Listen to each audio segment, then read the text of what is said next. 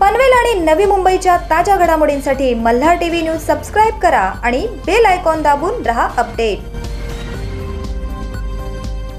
खारगे येथे शाश्वत फाउंडेशनच्या वतीने रायगड जिल्ह्यात एकतीस लाख वृक्षारोपण करण्याचे उद्दिष्ट साध्य करण्याकरिता रविवारी वृक्षारोपण कार्यक्रमाचे आयोजन करण्यात आले होते. यावेळी भाजपचे जिल्हा अध्यक्ष आमदार प्रशांत ठाकूर यांच्या हस्ते वृक्षारोपण करण्यात आले. यावेळी आमदार प्रशांत ठाकूर यांनी आवाहन केले की वृक्षारोपणाबरोबरच त्यांचे संवर्धनही करा तसेच शाश्वत फाउंडेशनच्या वतीने राबविण्यात आलेल्या या उपक्रमाचे कौतुक यावेळी केले. राज्यभरात वन विभागाच्या वतीने यंदाच्या वर्षी तेरा कोटी वृक्ष लागवड करण्याचा शासनाचा मानस आहे. त्यामध्ये रायगड जिल्ह्यात एकतीस लाख वृक्षारोपण करण्याचे उद्दिष्ट असून त्या अंतर्गत विविध सामाजिक संस्थांच्या माध्यमातून वृक्षारोपणाचे कार्यक्रम आयोजित करण्यात येत आहे. त्या माध्यमातून खारघर सेक्टर पस्तीसमध्ये वृक्षारोपणाच्या कार्यक्रमाचे आयोजन करण्यात आले असून लहान मुलांनीही या वृक्षारोपणाच्या कार्यक्रमात उत्स्फूर्त सहभाग घेतला.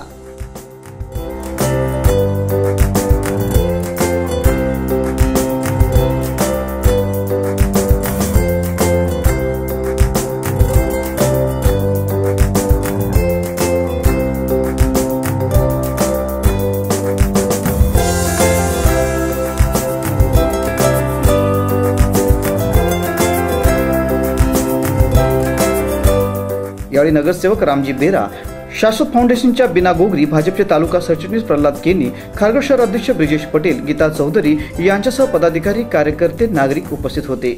यावेळी उपस्थित मान्यवरांच्या हस्ते या उपक्रमामध्ये उत्स्फूर्त सहभाग घेणाऱ्या मुलांना प्रमाणपत्र देऊन त्यांचा गुणगौरव करण्यात आला.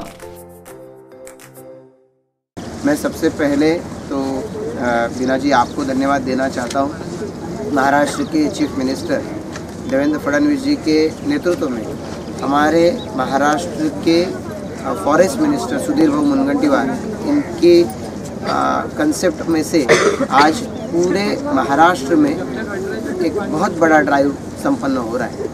और इस साल का लक्ष्य है तेरह crore.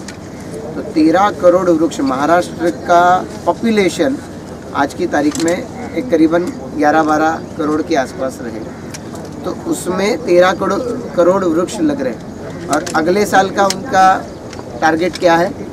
33 crore 33 crore plants would be planted next year एक से 15 जुलाई 2019 के समय में लगेंगे।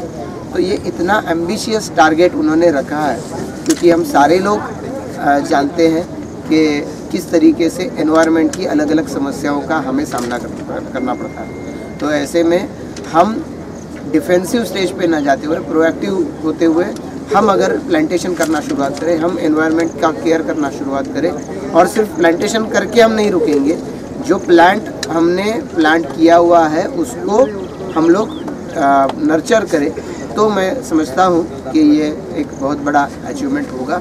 हम जहाँ कहीं से भी गुजरे, वहाँ पे एनवायरनमेंट की हम लोग अगर केयर करेंगे एनवायरनमेंट के बारे में हम लोग अगर अपना, अपनी रुचि रुझान रखेंगे तो मैं समझता हूँ कि अपनी ओर से हम एनवायरनमेंट के लिए मदद कर रहे हैं।